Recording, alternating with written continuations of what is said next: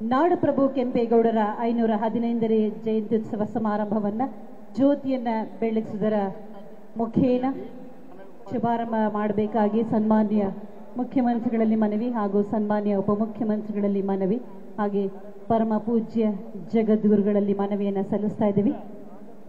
ಹಾಗೆ ಎಲ್ಲ ಸಚಿವರು ಗಣ್ಯಾತಿ ಗಣ್ಯರು ಒಗ್ಗೂಡಿ ಒಟ್ಟಾಗಿ ಬಾಳುವಂತಹ ಸಂಕಲ್ಪಕ್ಕೆ ಜ್ಯೋತಿಯನ್ನ ಬೆಳಗಿಸುವುದರ ಮುಖೇನ ಶುಭವನ್ನ ಹಾಡಲಿದ್ದಾರೆ.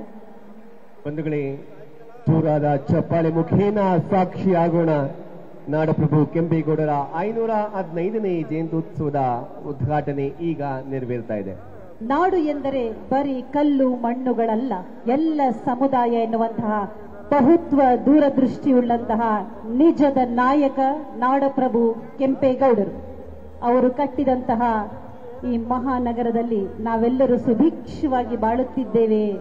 ಅದಕ್ಕೆ ಕಾರಣ ಅವರ ಕರ್ತೃತ್ವ ಶಕ್ತಿ, ಧೀಶಕ್ತಿ ಎಲ್ಲರನ್ನು ಒಳಗೊಳ್ಳುವಂತಹ ಸಮಭಾವದ ಶಕ್ತಿ.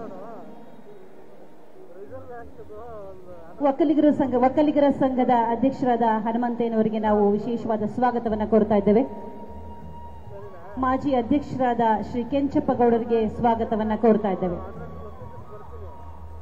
ಬಂಧುಗಳೇ ಎಲ್ಲ ವರ್ಗದ ಏಳಿಗೆಗಾಗಿ ಶ್ರಮಿಸಿದಂತಹ ದೂರದೃಷ್ಟಿಯ ಪ್ರಭು, ನಾಡಪ್ರಭು, ಕೆಂಪೇಗೌಡರು, ನಗರದ ಪೇಟೆ ಚಿಕ್ಕಪೇಟೆ ಬಳೆಪೇಟೆ ಕುಂಬಾರಪೇಟೆ ದೊಡ್ಡಪೇಟೆಗೆ ಐವತ್ನಾಲ್ಕಕ್ಕೂ ಹೆಚ್ಚು ಪೇಟೆಗಳನ್ನು ನಿರ್ಮಿಸಿದಂತಹ ಕೆಂಪೇಗೌಡರು ಬೃಹದಾಕಾರವಾಗಿ ಬೆಂಗಳೂರು ಬೀಳಲಿಕ್ಕೆ ಕಾರಣಕರ್ತರು ಅಂತ ಹೇಳಿದರೆ ಅತಿಶಯೋಕ್ತಿ ಆಗೋದಿಲ್ಲ.